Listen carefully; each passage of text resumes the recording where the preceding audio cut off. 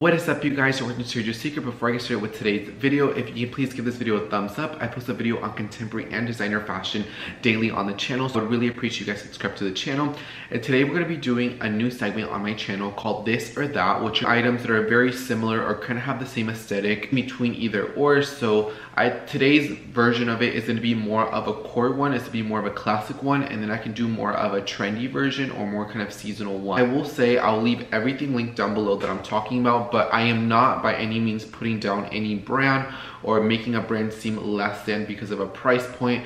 Um, I just have different alternatives. Some of them I prefer the more higher price point, some of them I prefer the more lower price point. So I just think it's a good compare and contrast. So if you are considering either or item, thoughts and my opinions on why I kind of prefer one item over the other, putting down any brand because it's a lower price point because that's definitely not me. But I did want to disclose that and let's go ahead and get started with today's video and definitely let me know if you want to see a part two to this. So the first one that I have, guys, is going to be um, this or that, which is going to be the Louis Vuitton Neverfull, which is going to be the classic one in the MM size. I was looking at the prices of a lot of these items because, you know, I kind of have an idea how much they cost, but a Louis Vuitton Neverfull is 1540 and with tax that's about $1,700. It's actually insane. I remember when the Neverfull was still under $1,000 many years ago. I remember when it was even $700. So it basically has doubled in price within the last 10 years. But we have the classic Louis Vuitton Neverfull. It comes with a beautiful pouch with it. Get them in all the fun colors and sizes, whatever you want.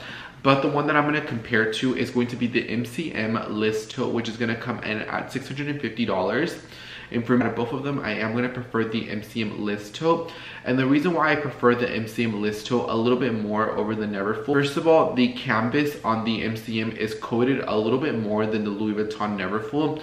When you feel both of them, they're both very soft, they're both very malleable, but I find that the MCM has a lot more structure. So if I were to put a laptop, if I were to put a book, if I were to put a little bit more heavyweight things at the bottom, it's not gonna sag nowhere near as a Louis Vuitton Neverfull. I can literally put my cell phone on a Louis Vuitton Neverfull and it will sag. I like that the MCM Liz Listo has more of a stronger base to it than the Louis Vuitton Neverfull. Also, as far as the pouches, I kind of prefer the MCM one because it is going to be a little bit larger and it's going to be, I don't know, I think it looks more cuter as a wristlet than the Louis Vuitton Neverfull. Neverfull one is just a little bit more smaller. I find that it looks more cute kind of like as an inside actual, on the inside to kind of put your receipts or maybe put a little bit of bits and bobs.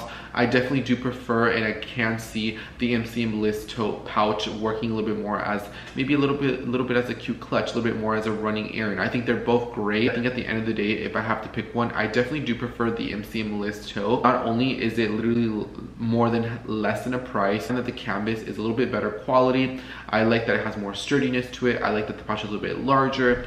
And I like that the MCM Liz tote isn't as saturated as a Louis Vuitton Neverfull. Louis, I've always liked the MCM Liz tote and this is something that I can definitely add into my collection. And if I were to add an MCM Liz tote, it would definitely be the black one. Um, I do like the cognac, I do like the red one, but I'm a little bit of a basic Betty, so I probably will pick the black one. And if I were to pick a Neverfull, I'd probably get the Damier Ebene just because I don't have to be worried about the untreated leather. This and that, I like both of them, but if I'm gonna pick one, I'm definitely gonna pick the MCM Liz tote. Next one, which is going to be the Coach Emery bag versus the Hermes Evelyne. So the Coach Emery bag did get discontinued, but you can find them at the Coach outlet and you can find them uh, pretty discounted on the pre-love market. I'll make sure to leave some down below, but the MSRP on it is $395. It comes with a bunch of colors. It's a very nice and functional handbag. And the reason why I kind of prefer the Coach one over their Hermes one, something about the Hermes H, how it's perforated, it kind of gives me kind of more summer vibes. I don't know, I think perforated in general whatever reason it just gives you more summer vibes. And for me i definitely want something that's more uh, that looks more timeless that's a little bit more sleek. I wish that the h was maybe incorporated a little bit different. I've tried getting into the hermes Evelyne and it just not had worked out for me. So therefore the alternative is going to be the coach emery bag and i definitely prefer the coach emery bag. It's 395 versus 3375 it's literally almost 10 it's almost 10 times less than a price And since it is discontinued i'm pretty sure you can find it for even a better better price out in the pre-love market market. I think that in this round, I think the Coach Emery bag definitely takes the win. I love the dog tag. I like that the strap is adjustable. I like that. I just like a little bit more of the cleaner look. I think the Hermes has definitely more of that Hermes vibe to it, which I like and I appreciate. I definitely do prefer more of the sleek and minimalistic vibe of the Coach Emery bag a lot more than the Hermes Evelyne. So um, the Coach Emery bag is definitely going to take the win for this or that. I definitely do prefer that one over the Hermes Evelyne. Next alternative is going to be the Veronica Beard Miller Dickey jacket. I actually used to have this one. I bought it like in a size too big and so I ended up selling it to one of my friends and so she has it, she loves it, she enjoys it. I'm wanting to, I want to add it back into my collection in my correct size very very soon uh, but I'll insert the picture of me wearing the blazer. I love the blazer, I think it is so beautiful. I love the buttons, I love the fabric. I love that it was more of a quarter sleeve, that it didn't go all the way long. So I find that I can show my arm candy, I can show a little bit more of my wrist, a little bit more things that I'm wearing. And the alternative is going to be the Balmain Blazer. Obviously the Balmain Blazer has always been talked about. When you see the Balmain Blazer, you just think of, it's just very classic Balmain. You think, when you think of Balmain, I really don't think of handbags, I don't think about shoes. I think about couture and I really think about that beautiful Balmain uh, well-tailored blazer. I will say that Veronica Beard blazers fit like a glove. I have many Veronica Beard blazers in my wardrobe and I live and I breathe in most of them. And there's some that I literally wear on a weekly basis. The Veronicas in general, they're actually two sisters-in-laws. And I think that they both have really taken a good control of the brand. And I, I love the Veronica Beard as a brand in general. The Veronica Beard blazer is done super, super well. I think it's super classic. I think it's super core. It comes in at $695 versus the Balmain uh, $22.95. So if you do want that kind of Balmain look with the buttons, I think it's still distinctively a little bit different where you can tell that it's more Veronica Beard. Uh, Veronica Beard is a very high quality brand. Anything bad to say, I definitely will say um, if you do want that kind of like Balmain look, I think that the Veronica Beard blazer is a really great alternative um, and, it, and, it's a beautiful blazer. I think it's spectacular. And what I like about the Veronica Beard ones is on the inside, zippers on the inside, so you can buy dicky inserts. You can put like a hoodie, you can put like a little bit of a moto jacket.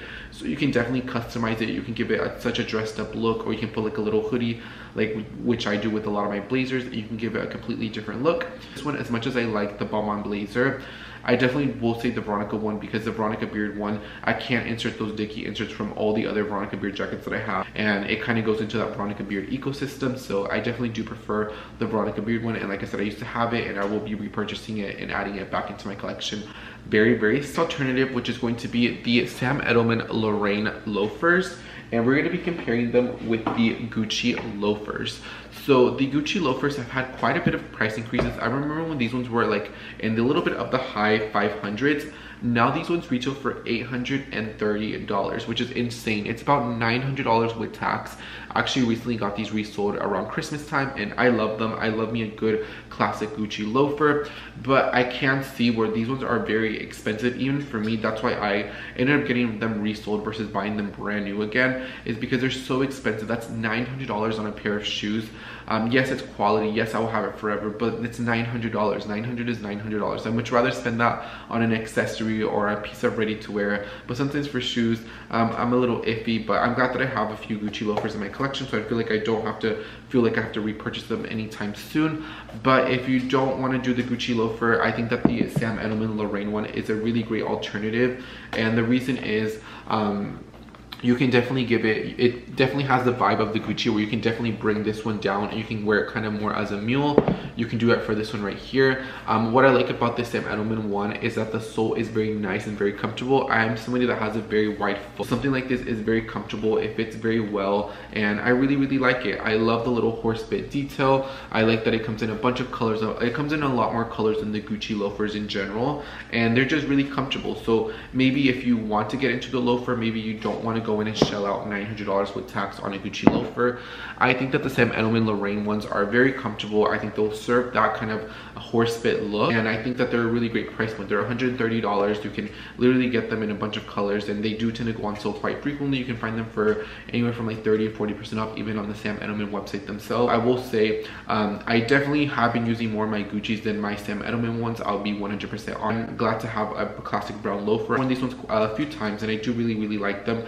Um, now that I have a little bit more brown bags then I'm gonna be wearing a lot more creams during the summer, these ones will go really well with a lot of the brown handbags like my Royal Moon bag. So I'll definitely be using these ones a little bit more in the summertime. So they're both really great options if you're considering them. Um, but you know, if you want the Gucci, get the Gucci. If you want the Sam, get the Sam. Have both. I think they're both really, really well. I will say I do use my Gucci ones a little bit more because I don't have these ones in black. If I had these ones in black, I'd probably use them uh, just as much as my Gucci's. But I really like them and they're a really great alternative. Uh, Gucci loafer versus the Sam Edelman Loraine loafer. They're both really great choices, but um, this one's just gonna be whichever one you choose. But like I said, I do use the Gucci one a little bit more. The next one, which is isn't going to be like such a comparison, like super alike alike, but I will say it because I do get questions about this one all the time. It is going to be the Dior Book Tote in the classic size, which is the one that I used to have. That one right now, as I'm recording this video, retails for $32.50. And I'm gonna be comparing it with the Saint Laurent tote that is $12.50 and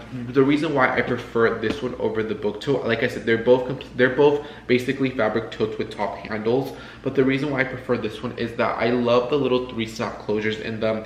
I love that you can snap it open you can snap it closed it's a little bit more secure I find that this one fits a little bit more like it is not the base of it is not super big on it it's a little bit more on the slimmer side.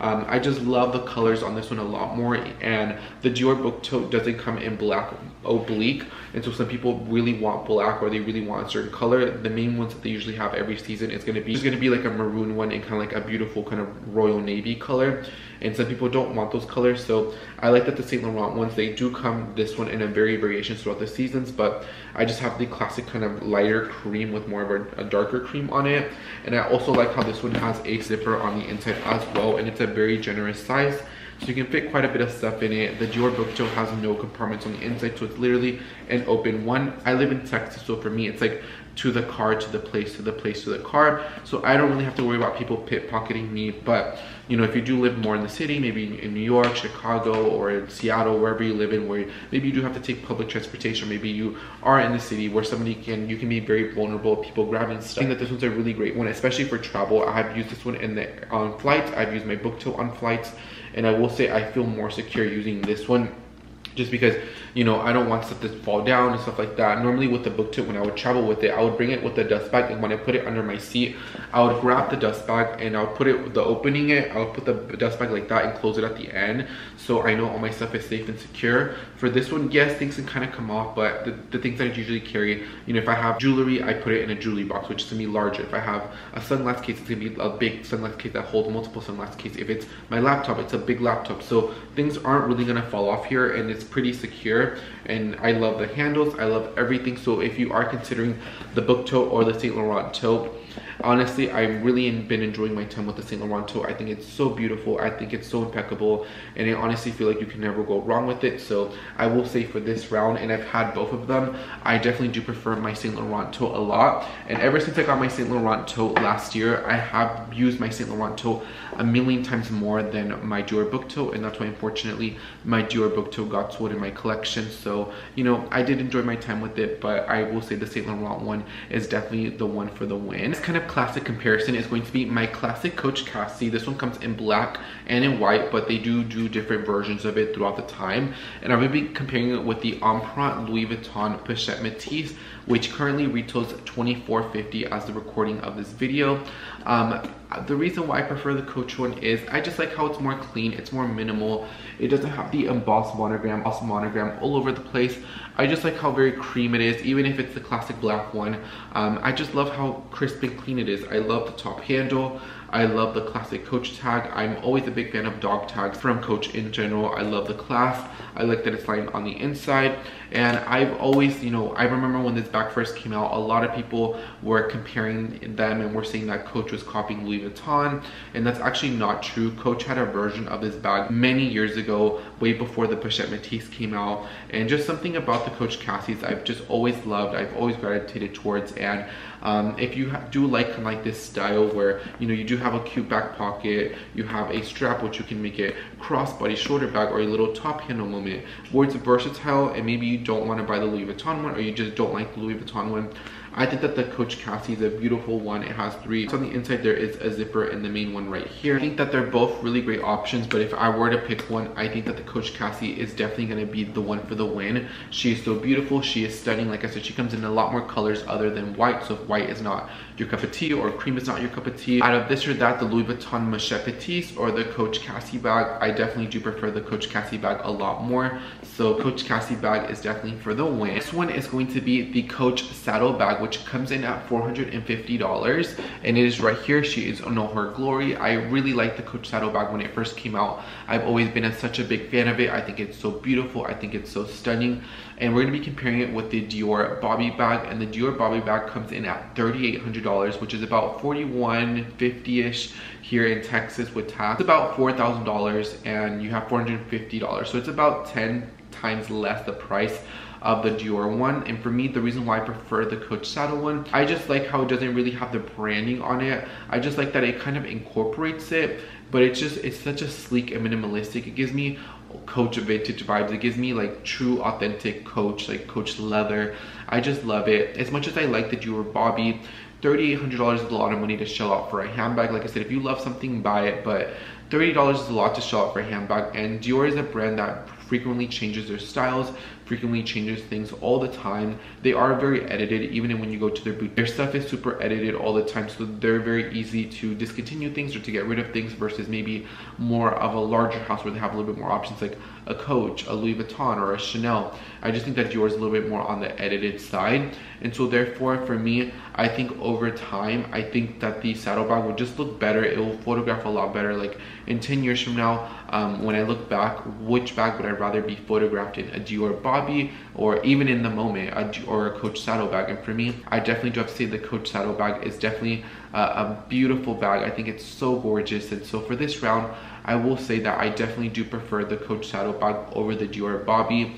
Like I said, I think that they're both beautiful bags, but you know, my I have such a big heart for Coach. You guys already know this. Like, mi corazón, my little gay heart, definitely loves Coach so much. So Coach is definitely going to be for the win. Next alternative that I have is going to be Chanel Espadrilles, which comes in, I believe, at $725 and then we have the Tory Burch Ines um, Espadrilles, and this one comes in at $228.